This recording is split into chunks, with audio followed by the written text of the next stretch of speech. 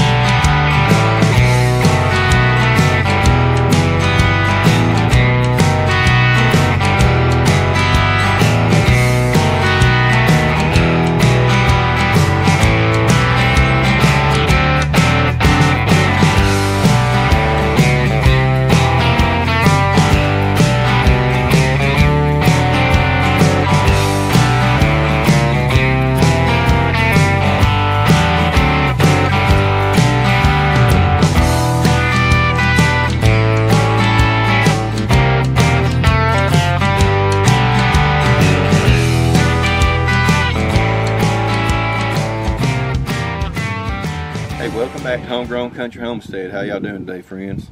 Well, I thought I'd bring y'all along today, show you what I was doing, and uh, right now uh, I'm just putting a little stain on my uh, wood siding here on my workshop.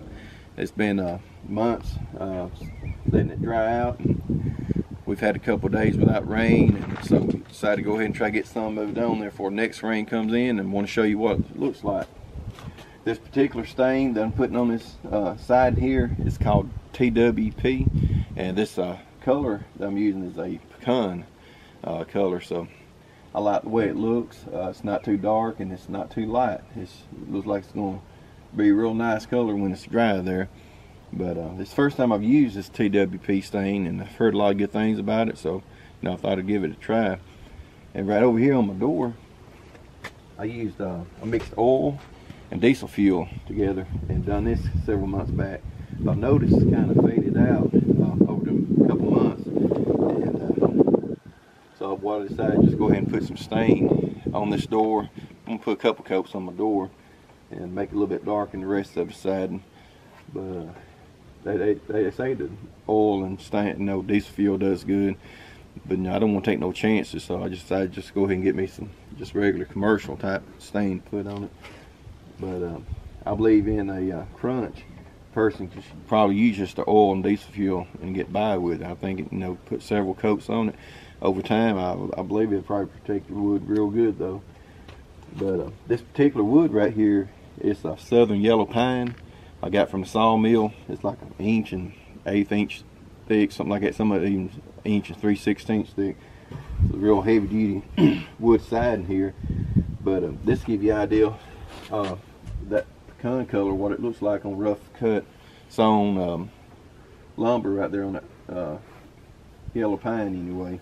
A lot of times I know I'm looking, try to figure out what something looks like, you know, there's nothing better than get to see a video where it's showing somebody's uh, used a particular product and, and, tell what kind of wood it was. And so anybody got any projects going to be using some rough uh, cut yellow pine lumber, this is what that pecan's going to look like when it's finished there.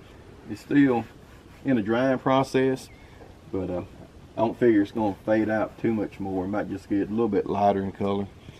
But I just thought give y'all a look see what I was doing today and show you what this uh, stain looks like on this uh, wood siding. And also, I would like to thank all our new subscribers for subscribing to our channel. We appreciate y'all coming over to our channel, taking a look, and welcome everybody. And also want to thank all of our old uh, subscribers who've been with us for a while. Appreciate y'all uh, hanging with us there and, and watching our channel. And we enjoyed all the comments uh, that y'all leave. And uh, as always, from our family to yours, friends, y'all have a blessed day. We'll see y'all later. Bye-bye. I like the way that looks, don't you? Mm-hmm. It's good.